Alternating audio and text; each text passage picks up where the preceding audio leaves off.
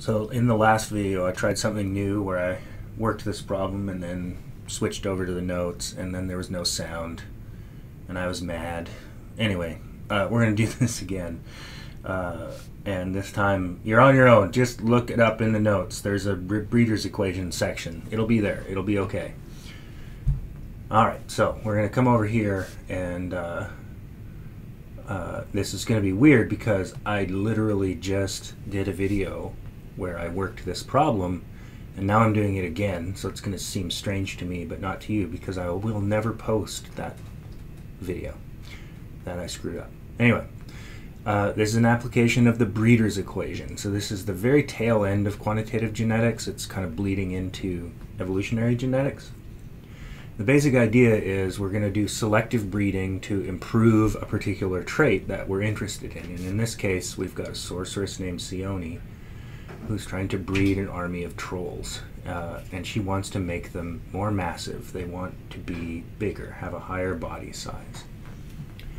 All right? So this can be super, super intuitive, although this, this problem is easier than, than some others. The idea is I want to breed bigger trolls. So I only want the biggest ones to mate and have the babies for the next generation. These uh, questions are almost always pertaining to the means of a particular trait. So what we've got here is uh, Me Seoni measuring the mass of each troll in her army, and then she calculates the mean and the variance of the population. So the mean is 400 kilograms, and the variance is 96.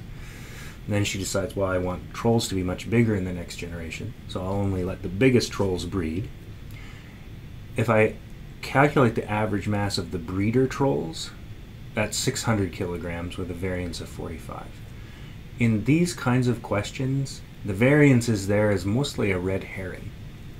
All right, you don't need uh, that information for this type of question.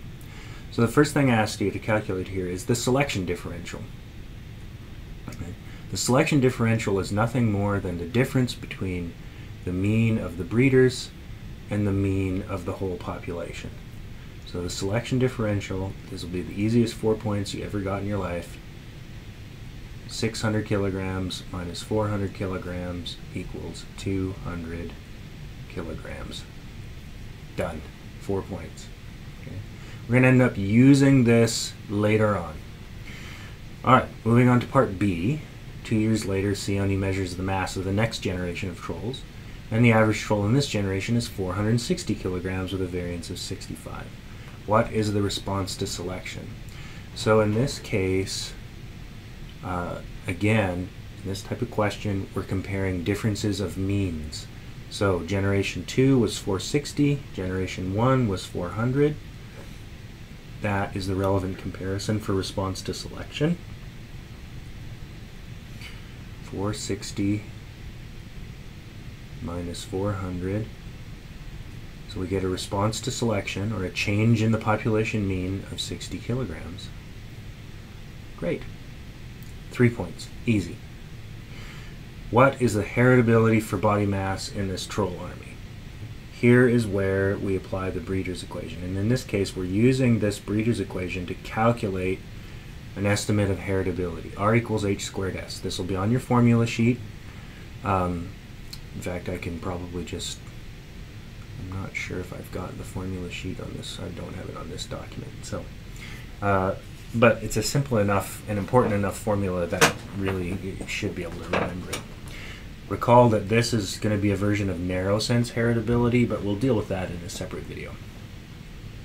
All right, so r equals h squared s. If we plug our estimates of the r and s into this formula, so there's r, 60 equals heritability, and then there's S times 200. So, the way I learned algebra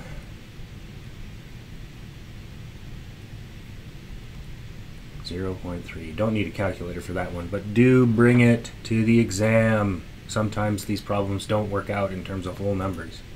So our heritability is 0.3. That means Roughly 30% of the phenotypic variance in that population of trolls can be attributed to genetic variance, and more specifically, additive genetic variance. Okay, so there's heritability. After several more generations, Seoni observes that the average mass of her troll army has maxed out at 610 kilograms. Give two reasons why this might be happening. Now, this is based on the slide in the notes pertaining to Drosophila bristle number. So this is not part of the answer, it's just me orienting you to the notes. This is Drosophila bristle number, and this is generations, and it uh, shows sort of a cartoon version of data from a selection experiment. Here's the control line. Not very many bristles over generations. But if we select for lots of bristles, it looks like this, and then it does this. And then I think I circled this in red. And we were like, what? Why aren't we making them more hairy? There were two answers. The first is that genetic variation is exhausted. Not in the physiological sense, but in the sense that all of the alleles for high body size in trolls are fixed.